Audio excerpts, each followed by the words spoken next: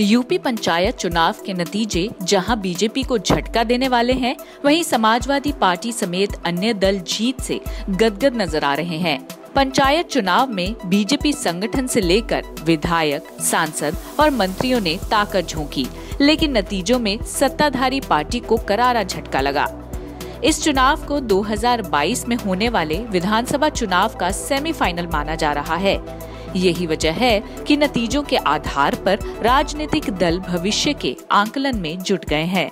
सीटों के नतीजों में अखिलेश यादव की पार्टी ने सत्ताधारी बीजेपी को पछाड़ दिया है। बीजेपी के लिए सबसे ज़्यादा चौंकाने वाली बात अयोध्या, वाराणसी और मथुरा पर हार रही। चुनाव प्रचार के लिए पूरी कोशिश नहीं करने को लेकर आलोचना झेलने के बावजूद समाजवादी पार्टी ने नेता अखिलेश यादव के लिए अनुकूल चुनाव परिणाम सामने आए हैं। दूसरी ओर कहा जा रहा है कि योगी आदित्यनाथ की अगुवाई वाली बीजेपी सरकार को कोविड 19 संकट से निपटने में विफलता के चलते नुकसान झेलना पड़ा है।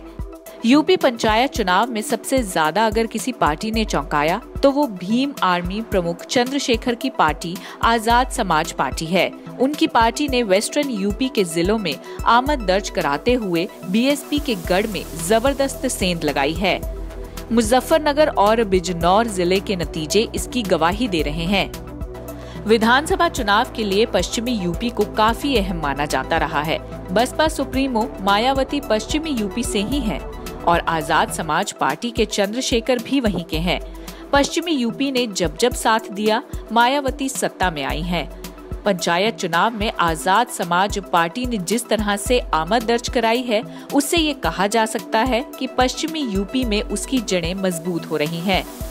चंद्रशेखर पहले ही 2022 के विधानसभा चुनाव में पूरी ताकत के साथ उतरने का ऐलान कर चुके हैं। इसी वजह से विधानसभा उपचुनाव के बाद उन्होंने यूपी पंचायत चुनाव में पूरी ताकत के साथ प्रत्याशी मैदान में उतारे थे।